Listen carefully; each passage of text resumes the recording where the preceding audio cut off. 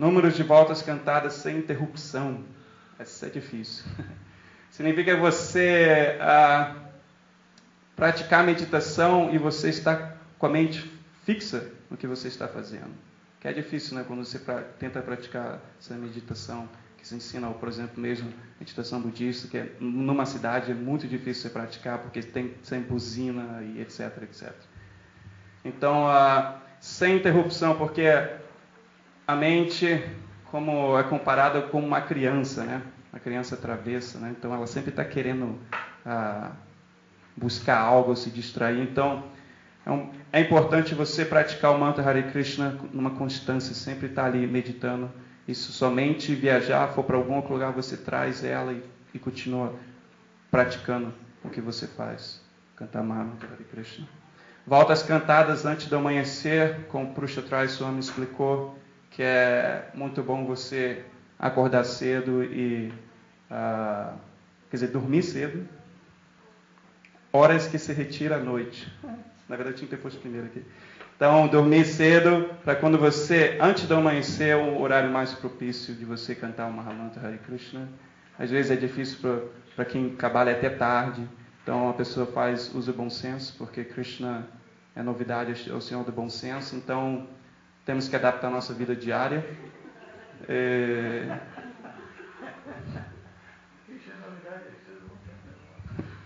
Então, a... e adaptar na nossa vida, né? na prática espiritual. Né? Por isso, Krishna vai nos mandar para o inferno a vida inteira, se nós não conseguirmos manter uma, assim, um, um standard. Como é que se fala standard? standard. Uh, de alto nível. Então, aprimoramos nossa vida de acordo com o lugar, tempo e circunstâncias. E Krishna fica feliz. A qualidade de nossa oração, porque o Mahamantra Hare Krishna também é uma oração. O Shikshastika, depois do verso 3, já começa uma oração, coisa bem mais íntima. Chaitanya Mahaprabhu está indo bem profundamente. Eu não quero riqueza, eu não quero desfrutar. Então, é uma coisa que Chaitanya Mahaprabhu ele mergulha mesmo a mente dele, o coração dele. Eu quero estar livre dessas coisas indesejáveis e eu quero sentir esse prazer espiritual.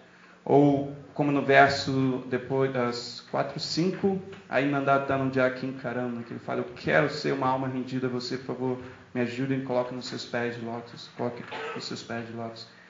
Então, é uma coisa que a gente tem que se avaliar também na nossa vida, porque às vezes pode ser mecânico, né? Quando nós praticamos o cantar na japa ou mesmo yoga pode ser uma coisa muito mecânica. Tudo que é aquilo que, que é mecânico, um dia enferruja, quebra e tem que jogar fora. Né? Então, sempre temos que sair desse estágio da mecânica, se for possível, e, e desenvolver um gosto superior. Por questão de temos que ter determinação, paciência, entusiasmo e firme fé de que nós vamos alcançar o objetivo último. E, por último, pois, como foi o seu ouvir ou a meditação do Mahamantra, porque é uma meditação. Quando cantamos Mahamantra de Krishna, é uma meditação que você medita em Krishna. Né? Às vezes tentamos forçar a mente para ouvir, né? ou controlar a mente, mas o Prabhupada nos ensina que se você pronunciar e ouvir que você está pronunciando, automaticamente você está concluindo o que você está meditando no que você está falando. Então, é uma coisa que a gente sempre tem que manter assim no nosso íntimo, no coração, que o relacionamento com Deus é algo pessoal, porque realmente Deus é uma pessoa e Ele ah, está pronto, tem um relacionamento com cada pessoa aqui, Ele está pronto para relacionar com nós. nós. Tá bom? Então, muito obrigado.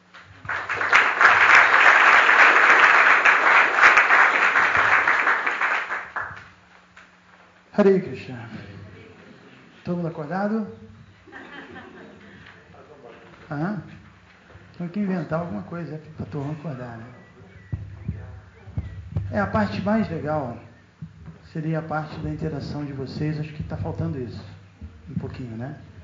E tenho certeza que aqui tem muita gente com perguntas, com dúvidas e com alguns comentários igualmente importantes. Seria legal a gente, assim, aproveitar mais esse lado, né?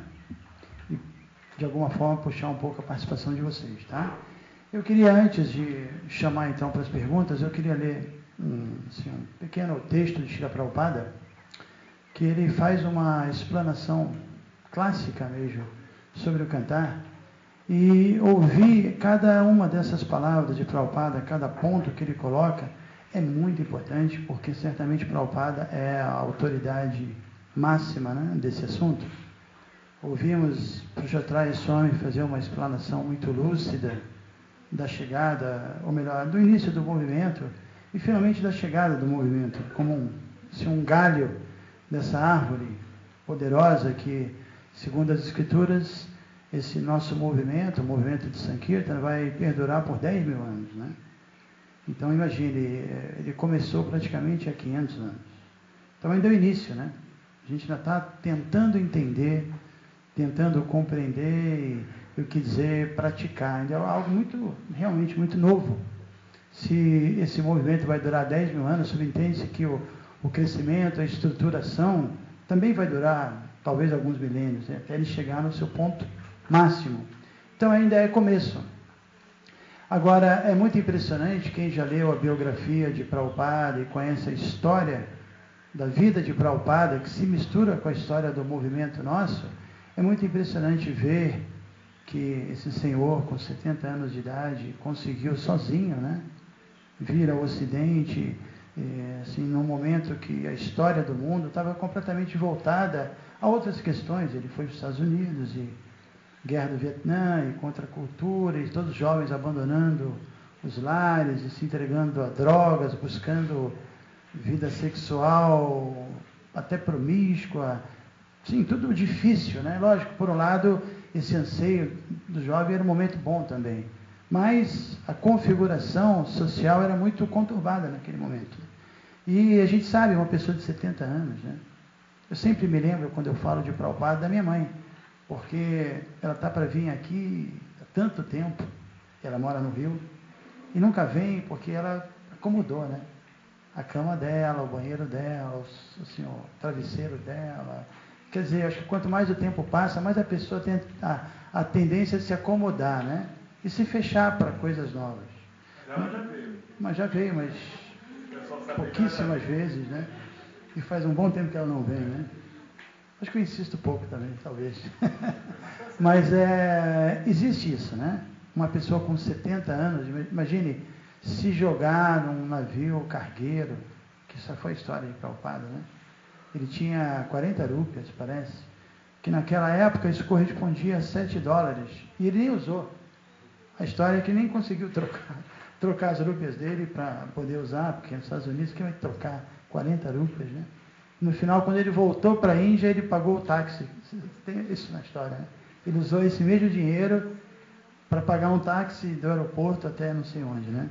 Então, sem nada, sem nada, sem nada, sem nada, agora a gente está aqui nesse ambiente, a gente, cada um que descreve um pouquinho, fala sobre a experiência da Alemanha, quando eu estive em Bangladesh, a gente né, faz parte de um contexto já com uma grande estrutura, está aqui um templo, as deidades, Brajabum existe há 18 anos, temos instrumentos musicais, a literatura está traduzida de Prabhupada, está tudo aí. Mas Prabhupada chegou sem nada, sem um único devoto, completamente sozinho, e na biografia dele é, há a descrição do primeiro Kirtana que ele fez, que ele foi então cantar no parque, né? Sozinho ali, tocando cártulas, não tinha ninguém. E é bem interessante que o que ele conta é que ele fechou os olhos, sentou embaixo de uma árvore e começou a cantar, né? Concentradamente, com amor por Krishna e com aquele desejo intenso de cumprir a missão e fazer esse serviço, né? essa determinação. E aí foi juntando pessoas, né? jovens, toda aquela turma, né? Os hippies foram se juntando, um começou a tocar um bongozinho, uma flautinha. Eu sei que, de repente, quando ele abriu os olhos, aí tinha já uma turma bem grande, assim, dando as mãos e dançando em torno dele. E muitos dançavam exatamente como Chaitanya Mahaprabhu dançava, como se dança na Índia, com os braços levantados, né? com a perna para lá, outra perna para cá. Ou seja, quando ele viu aquilo, ele viu que a missão dele seria bem sucedida, porque está dentro da gente. Esse cantar, né? essa glorificação a Deus, essa, esse chamado né? que a alma é, faz, isso é uma coisa natural, absolutamente natural. Prabhupada diz isso, que sabemos que uma criança, quando ela está com fome, quando ela está assim buscando o seu alimento, ela chora, né? Ela começa a chorar e a mãe Então vai lá e, e amamenta o filho. A mãe sabe quando o choro é genuíno, quando o choro é de mãe, ela consegue perceber, né?